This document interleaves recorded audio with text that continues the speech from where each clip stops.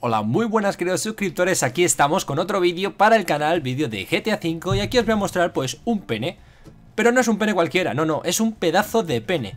Parece ser que ya sabemos que a Rockstar pues le gusta lo de esconder penes, le gusta esto de esconder penes por, por el mapa, ¿no? Por, por todo el mapa, por toda la ciudad de los santos y por toda la región y bueno, pues eh, hay aquí uno que yo no me había fijado nunca, la verdad, pero verdaderamente tiene toda la pinta de ser un pene. Y además es un pene bastante grande. Vamos a ver cómo podemos divisar este pene enorme. Eso sí, para divisarlo lo tenemos que hacer desde las alturas, así que simplemente eh, esto no hace falta ni que lo hagáis. Eh, hago el vídeo para que lo veáis simplemente como curiosidad.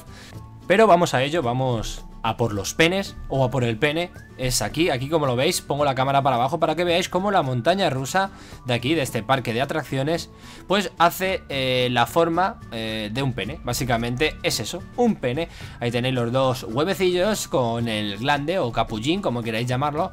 Y bueno pues hace toda la forma de, de un pene, este vídeo pues simplemente es una curiosidad, lo he subido como curiosidad, como digo no hace falta ni que lo hagáis, yo simplemente os lo muestro para que podáis verlo y lo veáis y lo sepáis.